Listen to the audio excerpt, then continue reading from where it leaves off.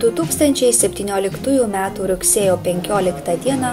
Punsko užros leidykla, Punsko tautodailės ir amatų dirbtuvė Šimtavirvis, Punsko kovo 11 licėjus bei Seinų lietuvių žiburio mokykla dalyvavo tarptautinėje mokslo mugėje, kuri vyko Kaune, KTU Santakos lėnyje.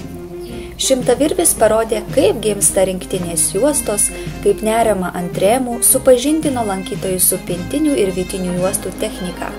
Kovo 11-osius licėjus parengė optikos, o Seinų lietuvių žiburo mokykla cheminių eksperimentų programą. Nemažai dėmesio susilaukė Punsko aušros leidyklos tendas, prie kurio vyko Punske išleistų lietuviškų knygų ir vadovėlių paroda buvo rodomi reportažai apie Punsko ir Seinų krašto lietuvių gyvenimą.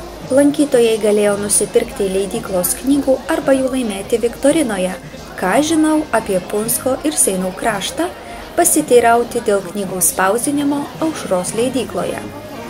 Punsko aušros leidykla veikia jau 24 metus.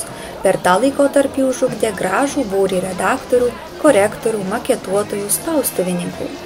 Leidikla leidžia knygas kokybiškai, profesionaliai ir palyginti nebrangiai.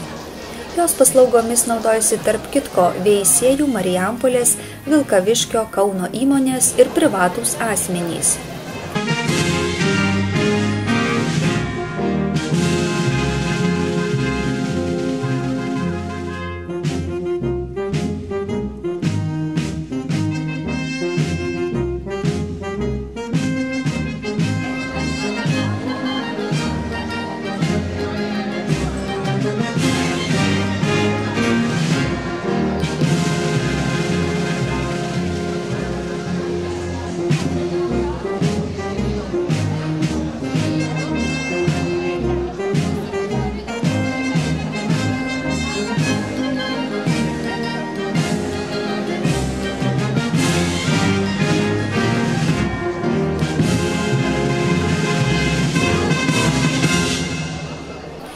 Mokslo populiarinimo festivalis Erdvėlaivis Žemė šiais metais subūrė šimtus mokslo gerbėjų.